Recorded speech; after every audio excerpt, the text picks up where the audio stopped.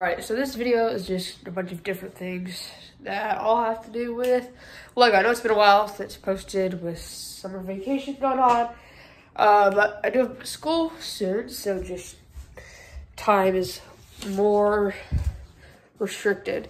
So a couple cool things. I don't know if you guys signed up for it, but the uh, Lego Fall 2021 catalog came out. It's pretty cool, although I think they came out with a couple errors in it as well like uh, for like the dots, if you well, there's like wrong images, but stuff like that. Um, but I don't know if you guys heard about this, but for Lego Con, they came out with a custom comic book creator, and the first I think 1,000 or 10,000 people to do it got theirs in roll print. So I did it before the requirement was met, was the limit was hit, so I got my own custom comic book. So it's like a Star Wars and then my custom mini fig design. And then you answer like a couple like personality questions. Although there's only so many answers, so you get this pre-scripted comic book, which is, I mean, it's kind of cheesy, but it, it's cool. Lego does that. Um, but then, on the other hand, I have this no problem. problem at all, right?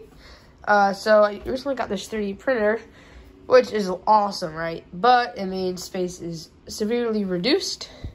So a couple things that just look odd. I mean, you've got my Looney Tunes, you've got my ATST, you've got the fire destroyer thing, you have these sets stuck in the back here, you have my fireplace right here, you have my crane right here, just sitting.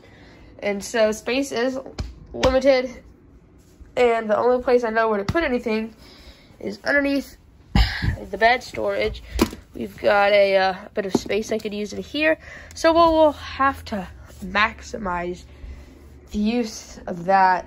But other than that, I think I will have to sell my Lego. Some Legos will probably be this crane. Um, I still need to get rid of that Bionicle. Bricks and Minifigs said they give me eight bucks for the bag. I was like, nah, that's not enough.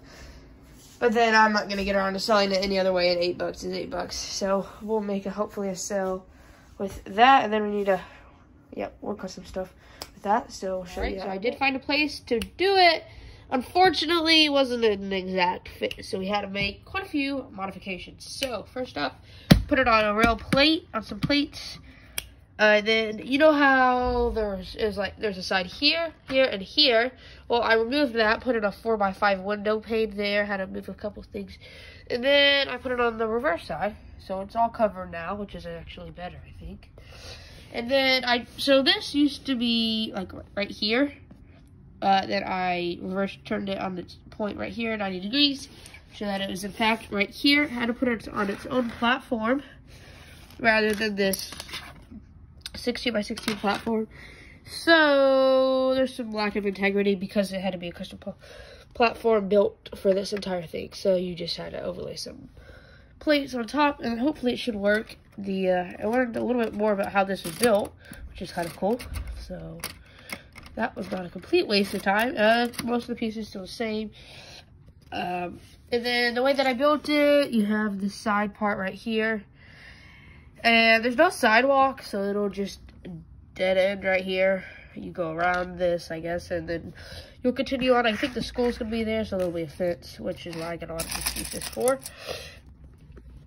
I'm sorry, I have so much life in my mouth while I'm talking. Uh, and then this will need to be fenced off. I guess it could be part of a larger fire station. So that'll be a neat addition. So leftover pieces uh, include some of those. The this is the water part. I don't say much about like why there's that water segment, but I literally just took off. It's connected with a couple pins. So we have six studs here, so we could take that off, put up a staircase or something in between. I don't know. Uh, but it'll just be more space to have it. It'll cover it nicely. So work on that a little bit. Uh, but then that will, ooh, well, actually, then that means you have to have walls, panels for all of that. And you have to have a roof here. So that's the longer project that I have to, for time for today. Uh, but also, because of the way that I did this, it, it extends two studs over Wait, maybe, yeah.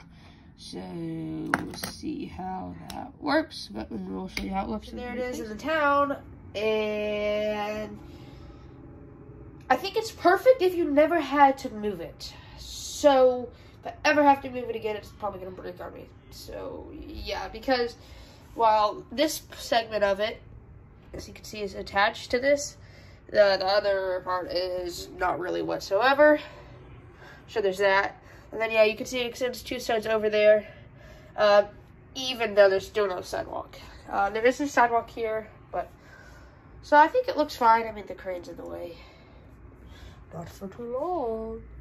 Um, yeah, I think it looks pretty good. There's uh, still this space in between right here that could be covered up sometime in the near future. Uh, and eventually we'll find homes for these three parts. I really want to get that burger spot incorporated. It's really small and the plate it's on is really large. Unnecessary, but we'll figure it out.